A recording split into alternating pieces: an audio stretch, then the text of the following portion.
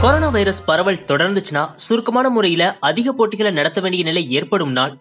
ஒரே நேரத்துல ரெண்டு பேரு டீமை வச்சு விளையாட வேண்டி வந்துச்சுன்னா நாங்க அதுக்கும் தயார்னு சொல்லிட்டு இங்கிலாந்துடைய இயான் மார்கன் சொல்லியிருக்காரு. இந்த மாதிரியான திட்டம் திட்டப்பட்டால் அதனை நான் ஆதரிப்பேனும் மார்கன் சொல்லியிருக்காரு. இங்கிலாந்துக்கு உலகக்கோப்பை வின் பண்ணி கொடுத்த டீமுடைய கேப்டன் தான் இயான் மார்கன்.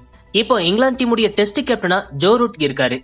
ஜூலை மாசம் இங்கிலாந்துக்கு வெஸ்ட் இண்டீஸ் டீம் அல்லது பாகிஸ்தான் ஆகியவற்றில் ஏதாவது ஒரு டீம் வந்து மூணு போட்டிகள் கொண்ட டெஸ்ட் தொடர்ல இருதரப்பு அணிகள் கூடவும் மோதுறதுக்கான வாய்ப்பு இருக்கு.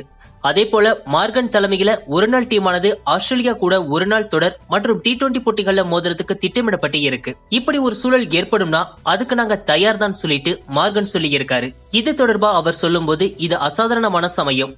எனவே என்ன மாதிரியான சூழல் ஏற்பட்டாலும் அதனை சந்திக்க நாங்கள் தயாராகவே இருக்கோம். இது மாதிரியான சூழலை இதுக்கு முன்னால நாங்க சந்திச்சது கிடையாது. யாருமே கூட இப்படி ஒரு சூழல் ஏற்படுவதை விரும்ப மாட்டாங்கன்னு அவர் சொல்லியிருக்காரு. இயற்கையின் இந்த மோசமான கோபம் பொருளாதார ரீதியாகவும் ஆரோக்கியத்திலும் விளையாட்டை பாதிச்சிருக்கு. இப்படி ஒரு சூழல் ஏற்படுங்கிறதை யாருமே எதிர்பார்க்கலைன்னு இயான் மார்கன் சொல்லியிருக்காரு. கொரோனா வைரஸ் பரவல் காரணமா இங்கிலாந்துல எல்லா வகையான கிரிக்கெட் போட்டிகளையும் மே இருபத்தி எட்டாம் தேதி வரைக்கும் தள்ளி வைக்கப்பட்டு இருக்கு ஆனாலும் ஜூன் நான்காம் தேதி வெஸ்ட் இண்டீஸ் அணி திட்டமிட்டபடி வரும்னு சொல்லப்படுது. எங்களால முடிஞ்ச அளவுக்கு விளையாட்டு போட்டிகள் தொடர வேண்டும்னு நினைக்கிறோம். வீரர்களும் கூட இதையே விரும்புவாங்கன்னு நினைக்கிறேன்.